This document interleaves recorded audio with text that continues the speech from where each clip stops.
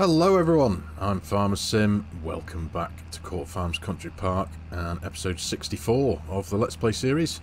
Hope you're all doing very well and having a wonderful day. Tell you what, I am loving this whole streamlined cow feed setup thing that I've got going on now. It is so much easier, so much less time.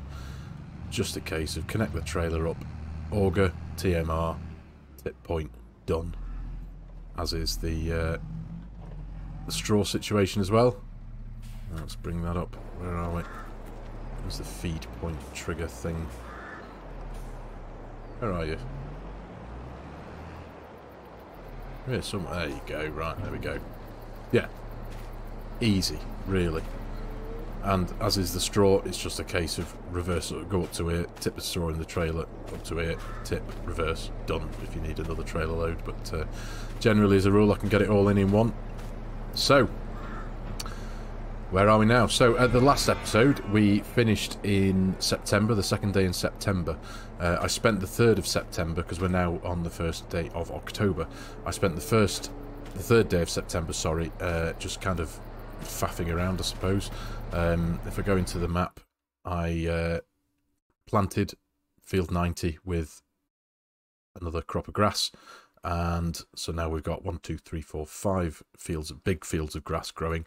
Fields 55 and 60 here are ready to go, second stage of growth, so they're going to be getting cut today, uh, picked up and stuck into one of our new bunkers. Um, and I also did all the field rolling as well in uh, in all of the fields, so all that's done. And I spent a bit of time. Uh, I actually felt the need to just add a bit more, add a bit of decoration around the place because now the farm is feels nice and busy. There's plenty going on. I think I've, I've certainly made it my own in respect of uh, placing things down, customising it a bit. Obviously, with the with the inability with the base game farms to remove and change any of the buildings, um, I'm really quite liking where we are so far. So yeah, I just thought I'd give it a bit more of a, a lived-in feel. So I've placed like a bit of junk and rubbish now and uh, here and there. Um, just bits of wood, stacks of bricks, old cement mixers and stuff. Uh, and what I've done over here, because I'd, this shed I never really used, did I? So I've kind of just turned it into a bit of a junk shed. So we've got an old combine, an old tractor, old car lift, engine lift. There's a nice typical Britain. There's a mini stashed in the corner, all knackered, and got some wood bits stuck uh, leaning up against it. So yeah, just I don't know. You wouldn't call them quality of life stuff, would you? It's just decoration. So I've dotted a few things all over the place. Uh, but yeah, so that's what I did on September the 3rd. As I say, we're now in October. Now, money-wise, uh, a very brief rundown from the money because we've done we've not done too bad at all. Uh, from the from the 2nd of September into the 3rd of September, we made 96,397 quid, which uh, did make my jaw drop a little bit, which was pretty good. I was very happy with that. Um, and then, obviously, like I say, I cracked on. I did spend a little bit of money on the, the placing down of some of the decorations and stuff. Uh, but then from the set from the 3rd of September to the 1st of October, we made 130,603 quid, which was even more amazing. So, so we're now at 448,490, as you can see from the top right there. So, that's not going to stay in there for long though, because I do have uh, another plan. I think I did mention it in the last episode. I am going to place down another big cow barn. Now, if I go into the construction menu, I'll show you the, the one that I've got in mind. It's, um, I think it's along this way. Yeah, here we go. Again, Lancy Boy to the rescue. Quarter of a million quid. It's a big one. It's going to take a, a lot of money. It's going to empty the bank account. Uh, but I do have the idea of placing it into this field here. So, we may well depending on where this does take us financially, because I, I, I, want to place this down uh, and I want to be able to buy some cows as well. So depending on how much it costs, where we at there, 300,000. So that'll leave me with, give or take a bit, about 150 grand. So I might be, I might actually be all right. I was just, forgive me, I was just thinking on the fly there. I might have to get a very, a very small and short-lived loan. Um, but I might be all right thinking about it. So that's what we're going to crack on with initially. Um, still undecided what order to do things in. We need to crack on with the grass mowing in the two fields down at the bottom there and get that uh, put into one of the new bunkers. We now have four bunkers. Now I have uh, again, other little details that I've done which you won't really see. I've, uh, I've sorted all the auto drive network out, redone the auto drive network down here, uh, got these two bunkers um, wired in properly. And I have also just done a very tiny little bit of, uh, forgive me, I know this isn't necessarily very interesting, uh, but I've just done a very tiny little bit of, uh, of rejigging of the, the little lane here. This lane came right down here and was a very tight turn around this little hedge and bend here, uh, but because that was because of the, the the unusedness of all this little corner here, I've just uh, I've repainted it and made it a little bit more ergonomic and easier for the machines to come back into. So that's all good. And I have also here, I did mention this a couple of episodes ago that I was going to do, um, even though this field is potentially going to become yet another sacrificial field because it is the smallest of the ones that we've got. I just trimmed the edge off here and uh, painted a lane in to give us some uh, kind of more legitimate access to the grass field here and this one and this one are now properly wired into the auto drive as well. So, again, just uh, keeping you up to date on every little thing that I've done. So yeah, right. Um, to be honest, I think I'm actually more motivated right now to uh, get down here and get this uh, get this cow barn put in. Um, get all that done and get all the landscaping done and paint it in, as it were. Um, because if going into the production systems menu very, very quickly, we've not we're not running out yet. Um, but going to the BGA, as you can see there, silage is it was down for, it was up at about 300,000 litres in the previous day. We're now down to 118. Um, so obviously we haven't got any more silage to put in there yet. Obviously that's going to come from the grass fields, but um, we need to get that working and topped up ASAP. So, anyway, forgive me. Right, I am going to spend a few more moments in the construction menu now, just placing this big cow barn down. Now, I'm quite excited about this particular cow barn as well, because there's, there's two variants of it. Um, there's one for 200k and one for 250k, uh, and this the more expensive one has got, uh, as you can see there in the bottom right, it says the uh, the Lely or Lely Vector and ID Agro feed kitchen. So I think it I think it might have some kind of automation when it comes to the uh, the feeding of the cows. Not too sure yet, having never used this particular barns, but either way, I just quite like the idea like the idea of having that uh, technology in the cow barn. So uh, so yeah, give me a few moments, potentially half an hour or so. I'll see you soon.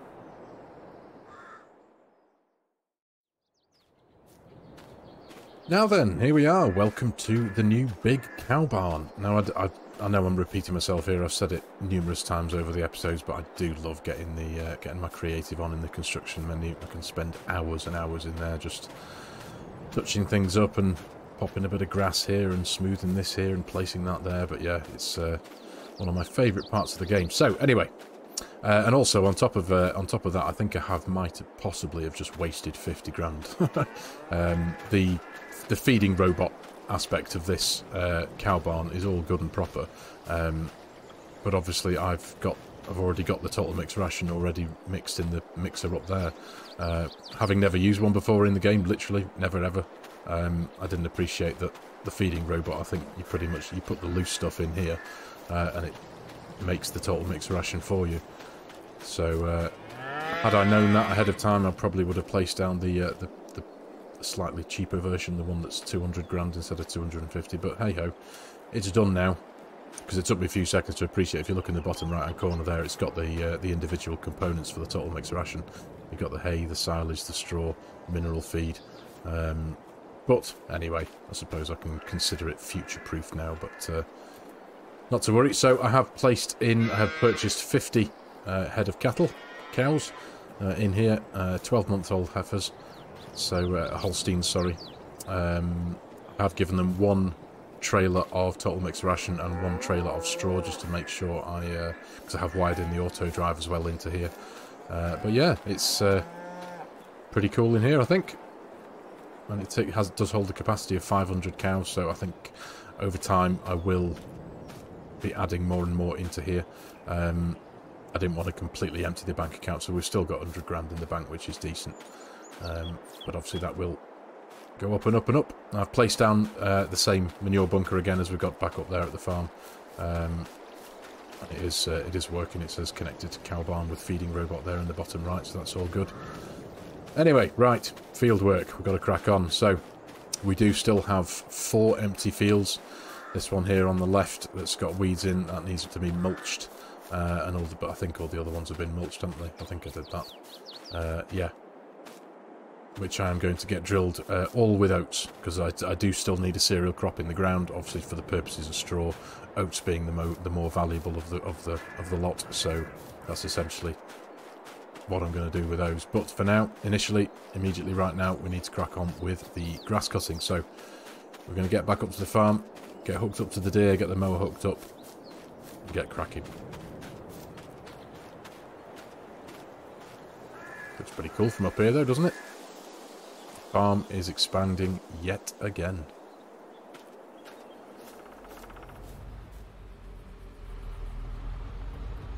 Right, all hooked up.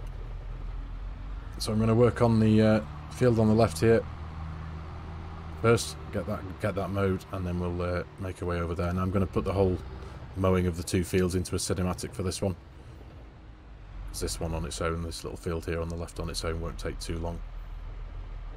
So yeah, you when it's all done.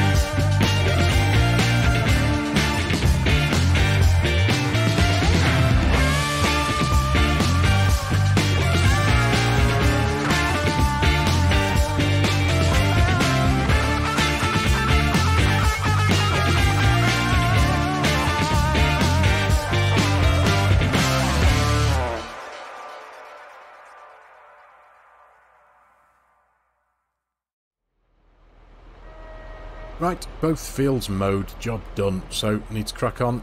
No time like the present. We need to get this lot picked up, put into one of the bunkers. I'm going to start with one of the new bunkers, one of the drive-through ones that we uh, installed in the last episode. I'm keen to see how they behave. Uh, and then as soon as that's done, pretty much as soon as this field is empty, we need to get the new grass roller running in both of these two as well and get the second growth promoted ASAP. That's going to be the, uh, the kind of behaviour I want to, want to try and keep on top of when it comes to the grass fields. Get it growing as quickly as possible. Get the lime topped up. Get the uh, nitrogen topped up with the digestate. So yeah, I'm going to get that done off camera, and I'll join you back when it's all picked up and in the bunker.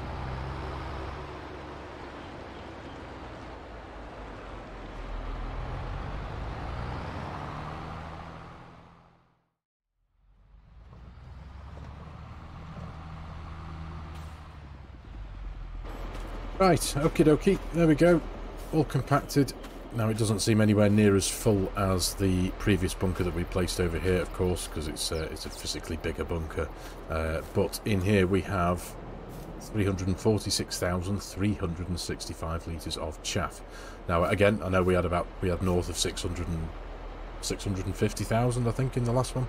Uh, but um, if I remember correctly, that was, that came from the cornfield, didn't it? So, uh, anyway, and the two fields that we've just mowed and picked up and put in here were much smaller, so the numbers were always going to be smaller, but frustratingly, I can never land on my feet, can I? Um, these, even though these are drive-through bunkers, I suppose this one has a problem as well, they're the wrong way round for the way I wanted them to be for this, for the orientation of this yard. So, I can demonstrate it to you by jumping in here, and if I go to the course play thing, create job, Right, there you go. So if you if you get where we are here in the yard, we're facing forwards. These are the bunkers. The course-play bunker silo mode sees this bunker as having a wall at this end, a wall at this end, and even this one, which actually has a wall at this end, it sees the wall at this end. So it's if I I was hoping to take advantage of the bunker silo mode whilst I was in the field picking that stuff up but the tractor always wants to go round to this side and obviously it's a bit lumpy and bumpy at this end. I honestly i didn't think it would that was going to be a problem but even with this one as well it's it's um it sees the the wall of this bunker at this end and not at that end. So i'm like oh do you know what? So even, but even when you go into the bunker here normally when you walk up to the edge of the bunker you get the option to blanket the silo but because of the way that it is I only get the option to blanket the silo from this half, this end of the of the silo. So it's quite, well, it's a bit frustrating. What can I say? Because even, for example, I d I don't know whether this is course play or whether it's the mod itself, but obviously the bunker's got lights. It's got an ele electronics and stuff like that, and that's at this end of the of the bunker. So you kind of expect this end to be the front. But anyway, anyway, anyway. Never mind, it is what it is. So, Blanket silo. Right, done. there we go. So, oh, damn it. I was hoping to have bought every last litre, but hey-ho, it is what it is. Anyway, right, so let's get this lot tidied away. We're going to, uh, let's fold that thing up. We want to get straight back into the grass fields with the new grass roller there. And uh, get the next growth promoted ASAP. So let's get this thing turned up, uh, disconnected. There we are. Now we've got the weight on the back of this, haven't we? Let's, uh, we're going to swap this around just for now. So we'll lower that one down. Disconnect. Drop back in the tractor.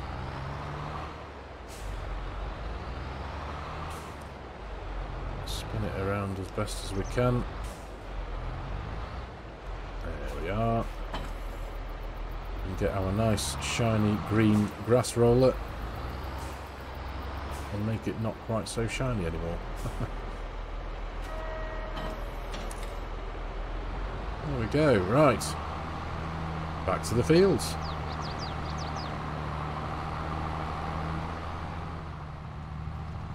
Right, back to the grass fields again. I'm going to get uh, these two fields of grass rolling done and put into a uh, put into another cinematic. Get this uh, new bit of kit tested out. So I'll see you ASAP.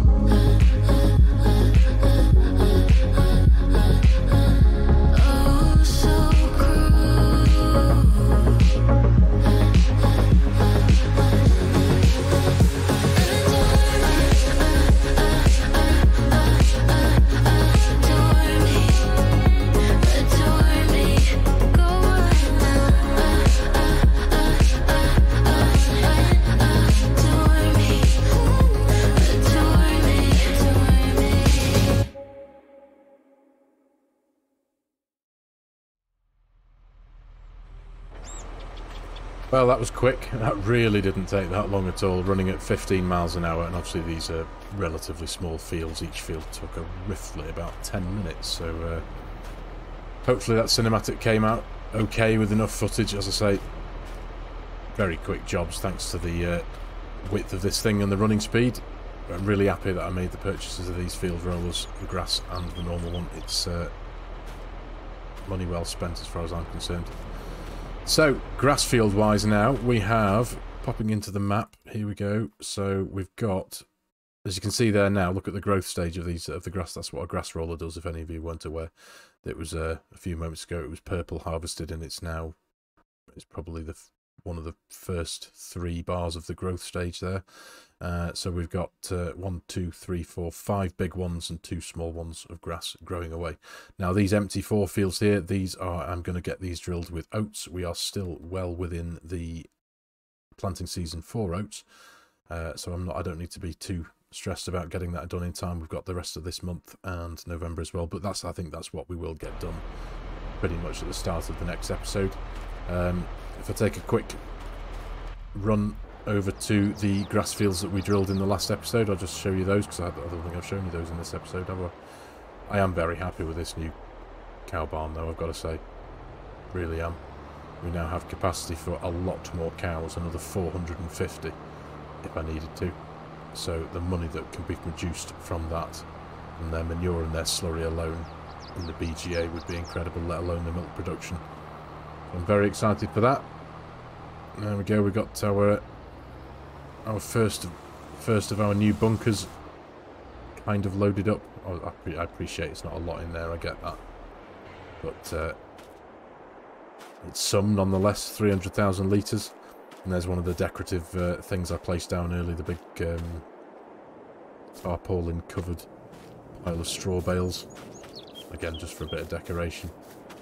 Uh, but yeah, here is uh, one of the grass fields that we drilled in the last episode. Looking splendid. There's going to be a lot of grass coming out of this and the others. So hopefully, I imagine I'm going to be spending a lot more time down here with these uh, in these bunkers. Obviously, I'm a bit gutted that uh, technically they're the wrong way round if I was to be solely relying on the Course Plays bunker silo mode. As it happens, I'm not going to be. I'm going to be doing it all myself, aren't I? But anyway, I think uh, I think for now, ladies and gentlemen, I'm going to call it here for today's episode. It's uh, it's been a relatively quick one, I suppose, but uh, we've got a lot done. As I say, we've got a couple of grass fields harvested, um, and popped into the uh, into the new bunker. We have our new cow barn down there, which I'm very much looking forward to filling up with more cows. And honestly, I'm just really appreciating the way that the, the farm is coming on. It really is coming on leaps and bounds. Let's just pop into the uh, flight mode here so we can have a bit of a look from above. But yeah, really happy with it. Really happy with it. So, thanks again for your time for watching the video, ladies and gentlemen. I really do hope you've enjoyed it and found it even remotely fun and interesting. As always, if you're new to the channel, you like my content, you like the way I'm doing things, please consider hitting that subscribe button and joining the channel and jumping on board. Giving the video a like if you can, if you have liked it, of course. And as always, there are a host of links in the video description below with my Giants Partner promo code. If any of you are in the market for purchasing a DLC, a season pass, an add-on, or even the full game itself, and you like the idea of helping a content creator out at the same time, I would be massively appreciative. So thanks again, everyone. Thanks for your time. Take care, and I'll see you in the next episode.